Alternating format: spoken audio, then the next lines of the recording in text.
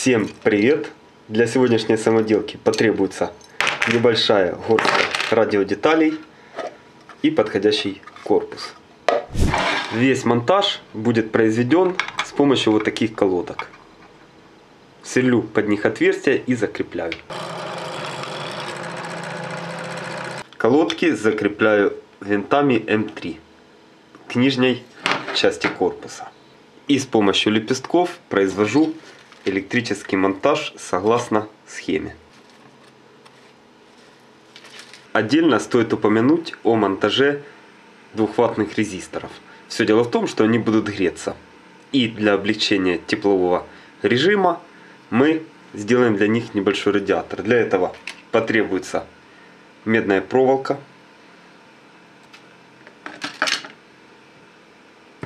вода, хорошенечко разогреваю.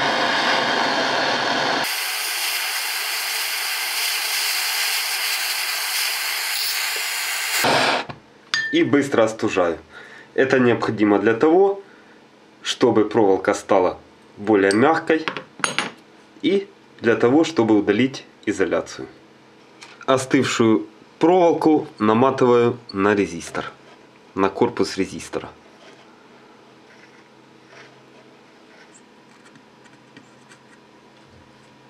Таким хитроумным способом у меня получились радиаторы для резисторов. Конечно же, стопроцентного отвода тепла они не обеспечат, тем не менее тепловой режим существенно будет облегчен. Радиатор, на который будет установлен тиристор, закрепляю через изоляционные прокладки для того, чтобы обеспечить электробезопасность устройства.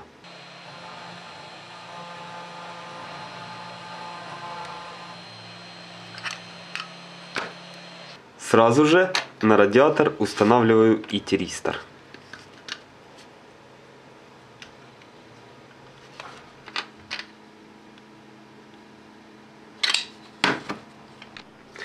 Спустя некоторое время монтаж выглядит следующим образом.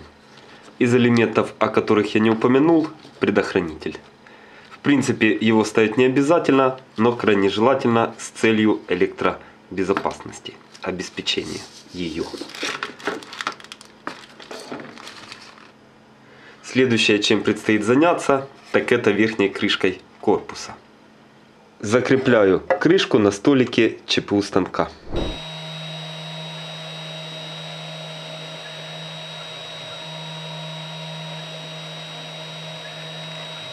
После гравировки, для того чтобы все надписи были более наглядными, выделяю их черной краской.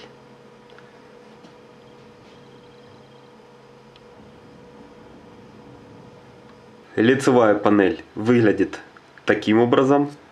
Розетка, регулятор и выключатель.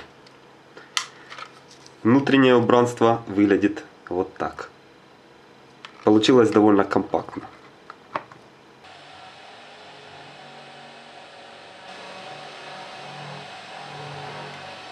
Собранное устройство представляет собой регулятор оборотов с поддержанием мощности, э, который в разы превосходит привычный для нас всех семистороный так называемый диммер. Стоит подчеркнуть, что ни один в мире семистороный или тристорный регулятор не способен полноценно поддерживать крутящий момент на валу электродвигателя. Особенно если этот электродвигатель не снабжен так называемым таходатчиком. Тем не менее, частично это возможно. Частично сохранить крутящий момент при уменьшении оборотов.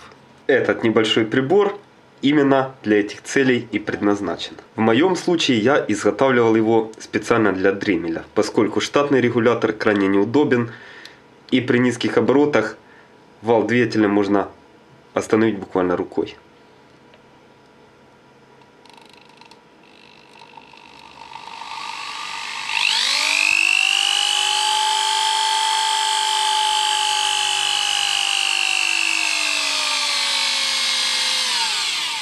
Разумеется, в качестве нагрузки может быть практически любой электрический инструмент, имеющий, я подчеркну, коллекторный двигатель.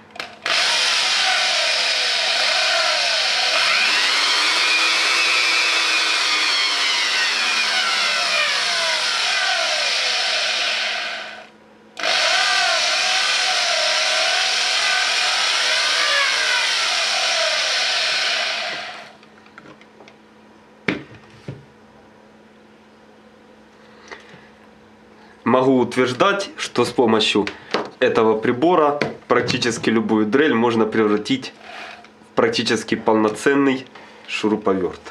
Также регулятор станет просто незаменимым в случае необходимости сверления отверстий большого диаметра, когда большие обороты просто неприемлемы. Пишите свое мнение в комментариях. Жму руку на пасаран. Пока.